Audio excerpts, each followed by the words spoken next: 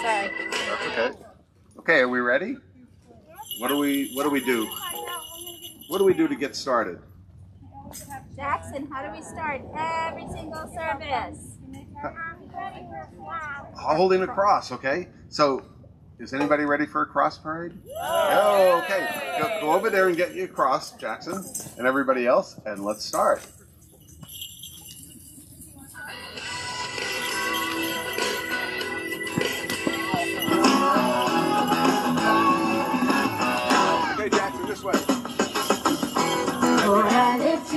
Your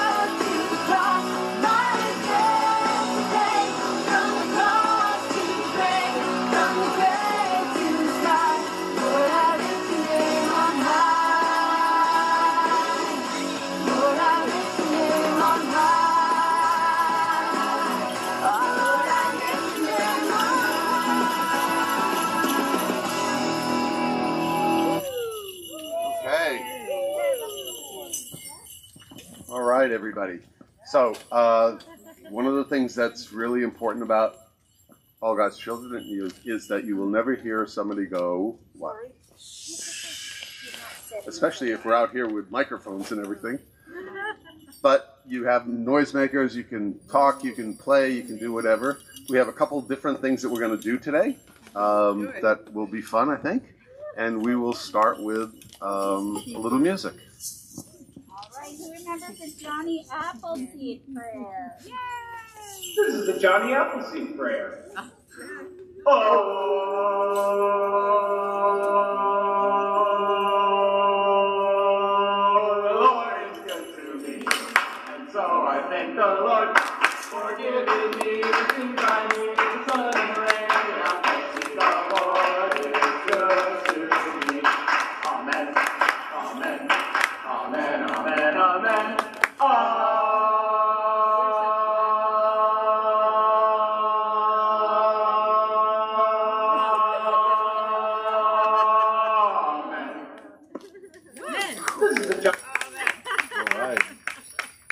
So the first thing we have a new Bible story for today. Oh my goodness. Jackie's going to teach us.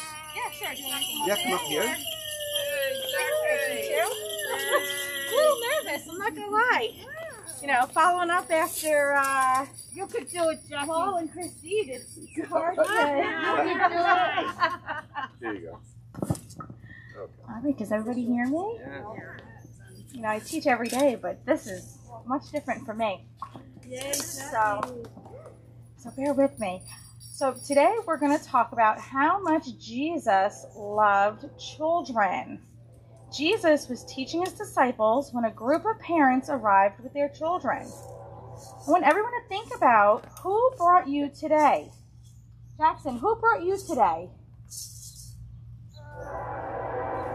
Uh, who, well, who brought you here to church today? Right? Your grandma brought you. And Stevie, who brought you to church today? Oh, I did. And little guy back there, who brought you to, to church today? I know, so many people, right? So it could be your mom, your dad, your grandma, your grandpa, an aunt and uncle, or maybe a friend brought you to church. So the disciples tried to turn them away. But instead, Jesus took the children and gave them hugs and he blessed them. He did this because he loves children. And every one of you is very special to Jesus. Jesus also taught us how to love others. He showed us all showed us by all the things he did. I show my love to everyone by helping and teaching people every day. What do you guys do to sh- show people you love them? Jackson, what do you do to show people you love them? You help them. That's really good, Jackson. How about Stephen? What do you do? I help people in class. You help people in class. That's so nice. And I bet you help everybody and you love everyone and give everyone kisses and you show them love by laughing and giggling. I love that smile back there. So I want everyone to repeat after me. Love one another as Jesus loves you. Love one another as Jesus loves you. Try to show kindness in all that you do. Try to show kindness in all that you do. Be gentle and loving in deed and in thought. Be gentle and loving in deed and in thought. For these are the things that Jesus taught. For For these are the things that Jesus taught. Amen. Amen. All right. Very good.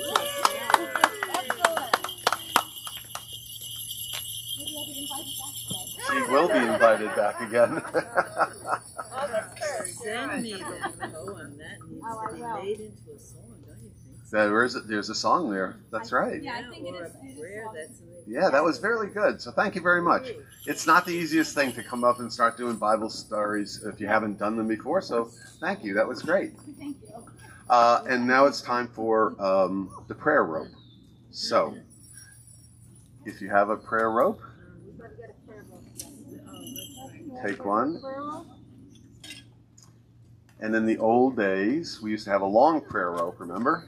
And we all used to hold it together. But now we'll do it in pods, families.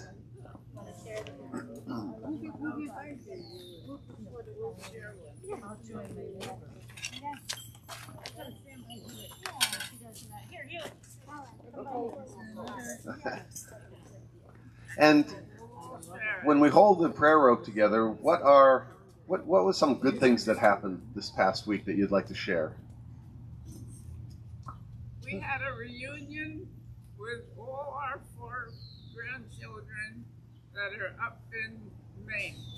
Wow. And it was joyous and noisy. There's little ones, big ones, all sizes and shapes, and they were all wonderful. That's great. That's great. That's a lot of fun.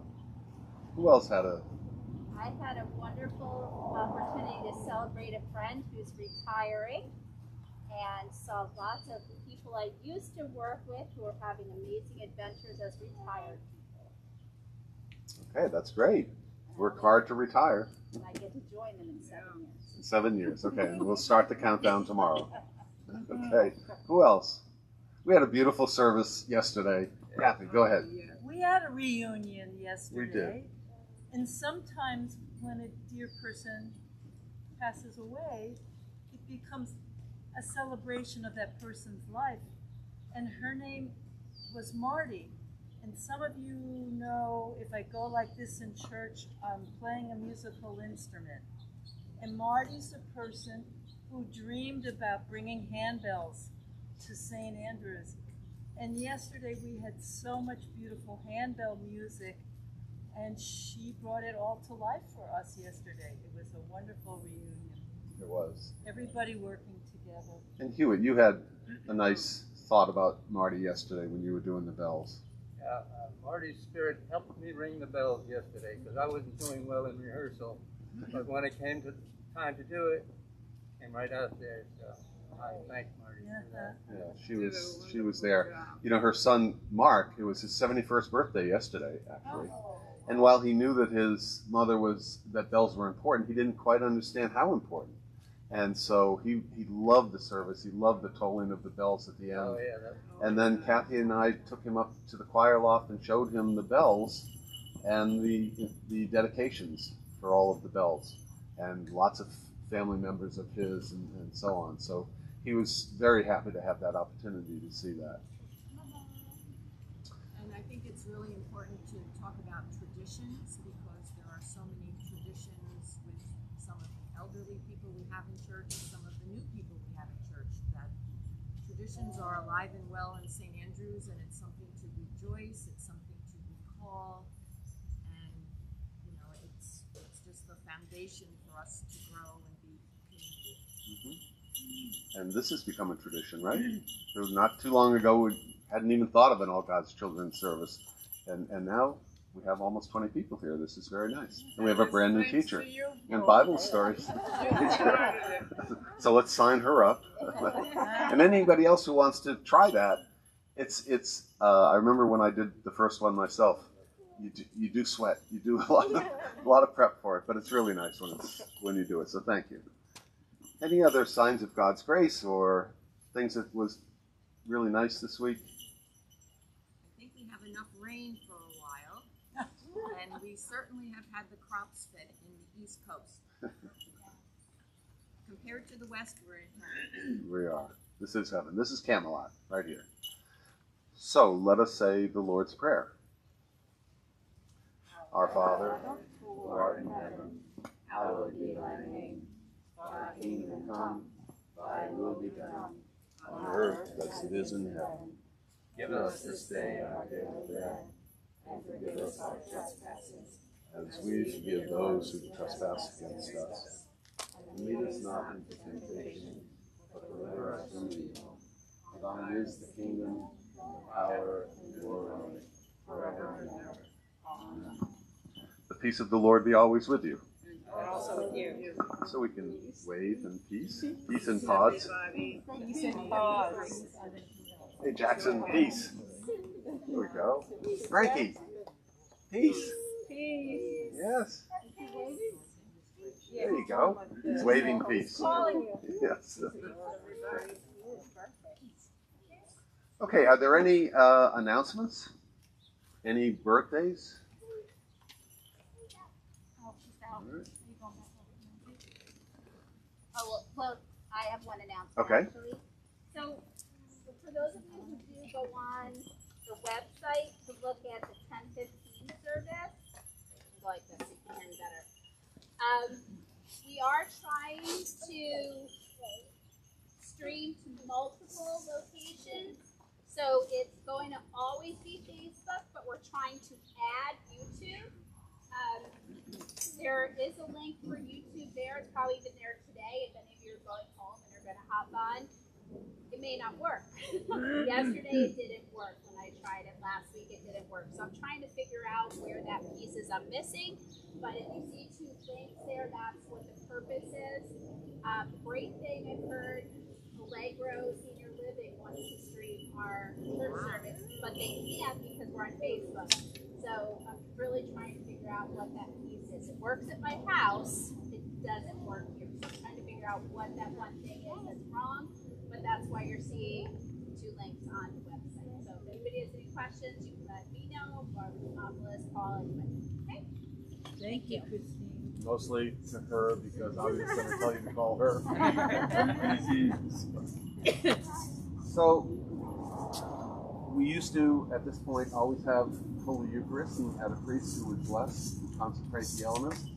Um, but we can't do that right now. But we can still talk about why, what's the real purpose of communion to begin with. And Jackie did a great job in talking about Jesus' love. And if there's one message I think that comes from uh, the Bible and Jesus' love, life is what did he what did he say? He said, "Love your neighbor like yourself. Love your neighbor as yourself." That's really that's really important for us to remember. And I think that a big part of the Eucharist is helping us remember that teaching of Jesus. Jesus helped everybody, and he told stories about people who helped everybody, and that's the most important part. And so he said when it was time to leave that I want a way for us to figure out how will you remember me, and more importantly than just me, but what I meant about love. And so he said, let's share a meal together. And he gathered his friends together with a meal. So this is not consecrated bread. It's just bread that I brought from home. But if you have bread or juice or anything, this would be a good time to take it out. Everybody have some? Yes, I have extra if anyone wants.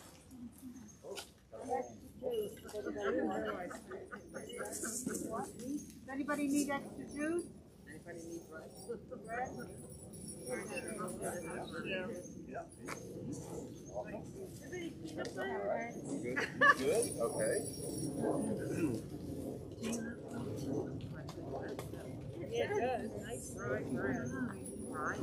Sorry, I should have been using this. Um, and so at this point, why don't you just open up your bread, your bags, and just take a little piece off and just share it with somebody in your family or a friend that you're next to, or stuff it in stuff it in his mouth. That's fine too. and remember when you do this, what we're trying to remember is Jesus. We're trying to remember that Jesus was all about love and that Jesus really loved us. And that's that's the tradition that we're that we follow. That's what's important for us. And the bread is a symbol of Jesus and everything that Jesus was to us. If you have juice or water or tea or coffee, you can go for that too, because that was another symbol. At the Last Supper, he, he, they shared a glass of wine or juice, water. And he said, when you, every time you drink this, remember me. Remember that this is all about love, all about caring for others. So thank you. Thank you for doing that. It's been um, a long time since we've been able to share like this with our All God's Children family. So thank you for that.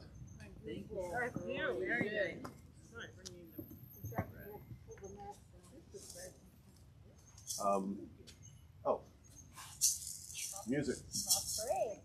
Who wants to lead the process? No, no, no. We need the Jesus loves the little one. Oh, I Look. forgot. One more. Or that. Yeah, that.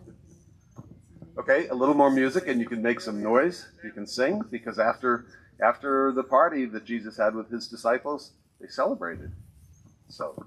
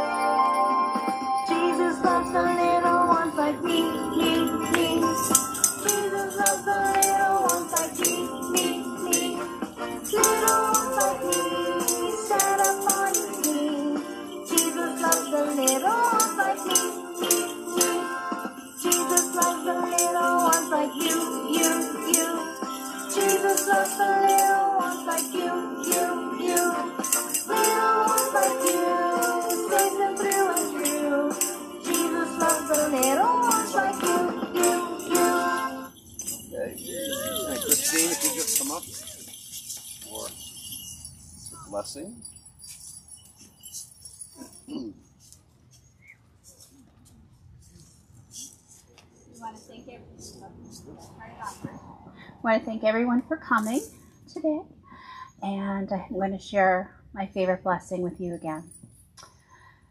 May the Lord bless you and keep you.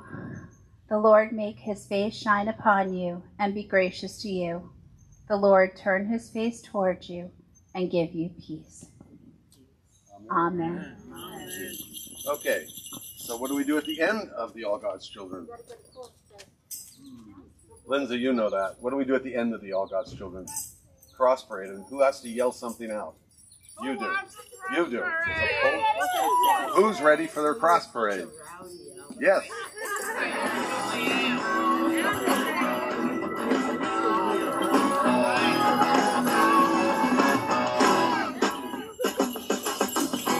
For